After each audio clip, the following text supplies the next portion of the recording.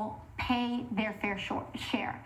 If corporations and the ultra wealthy, if we reverse the, the tax bill but when raised our, our corporate tax rate to 28%, if we do those two things and also close some of those loopholes, that's $2 trillion right there. If we implement a carbon tax, that's an additional amount of, um, of, of a large amount of revenue that we can have.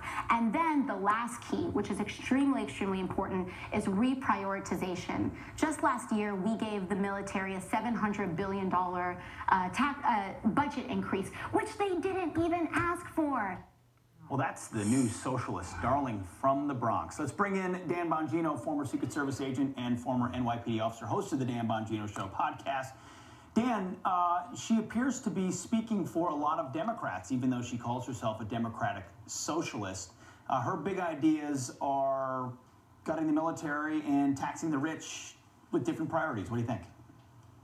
Yeah, Pete, she's also speaking for people who don't read books um, because almost nothing she said in that clip was factually correct. Um, Ronald Reagan, yes, Ronald Reagan actually raised uh, a couple of taxes. When he raised those taxes, tax revenue went down. When he cut income taxes significantly, tax revenue went up. So what she's talking about, about raising taxes, she has very little evidence it's going to produce more revenue. Number two, she's confusing the entire military budget, Pete, with the increase. Mm -hmm. The entire military budget is around 700 billion. They didn't ask for a 700 billion dollar increase. That she's she's running for Congress. You understand this, right? Not only, she, by the way, the, the the lies go on, or the mistruths, or whatever the focus group tested word is. Then she says, and they didn't even ask for it.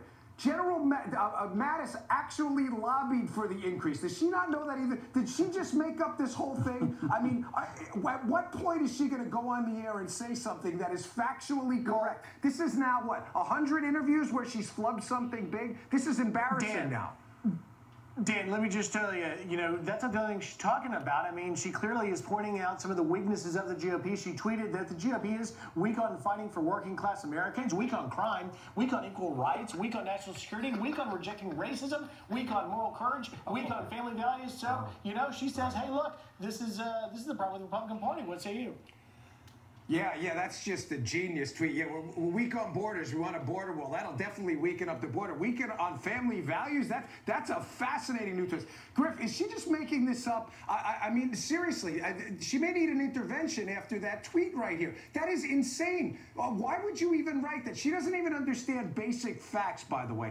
That when she says the thing about fair share, you know, the top 1% of earners pay 40% of income taxes. Think federal income taxes. Think about that. One out of 100 people working their butts off out there mm. is paying 40 cents of every dollar. The top 20% of earners are, are paying up at 70 to 80%. Now, by the way, new rules on talking about the economy since Trump is in office, and I want to thank him for this. One, we're not apologizing for hard work anymore. Number two, we don't owe you a dime more, Captain Federal Government. Not a dime. Every time we give you a dollar, you waste it. You flushed our Social Security down the toilet. You ruined the education system. You're drowning us in 20 trillion in debt. We're not giving you any more money. You hear what we're talking about? New rules. No mas, no more money for you.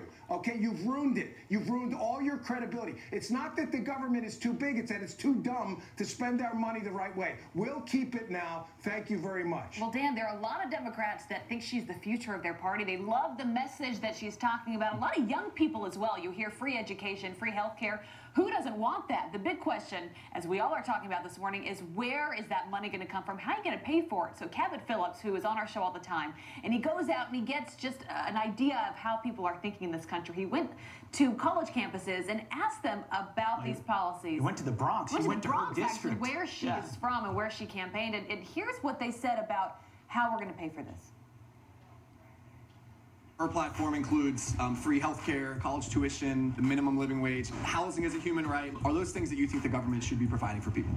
Absolutely. Yes, it is. 100%. I feel like everyone should have like um, free um, education and healthcare. How are we going to pay for those? Oh God. I mean, us. Us, yeah, I guess. Yeah. Who, in your mind, should pay for all of the free things? All of the free things? Well, some of it should come from taxes, but the government should pay for it. But the government is funded by taxes. Yeah. there you have it, Dan. Oh, that last answer was epic because it sums up the entire progressive movement. How are we going to pay for it? By taxes, but then the government can pay for the rest.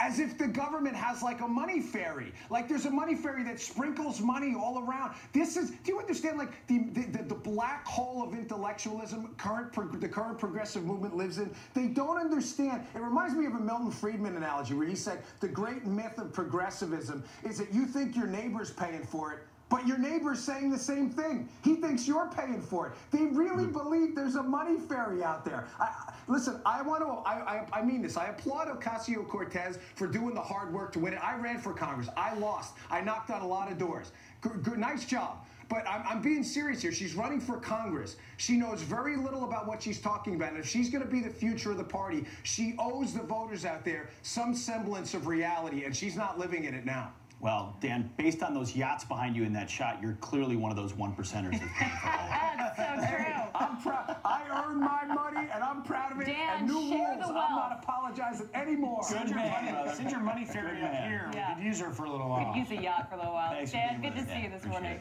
it.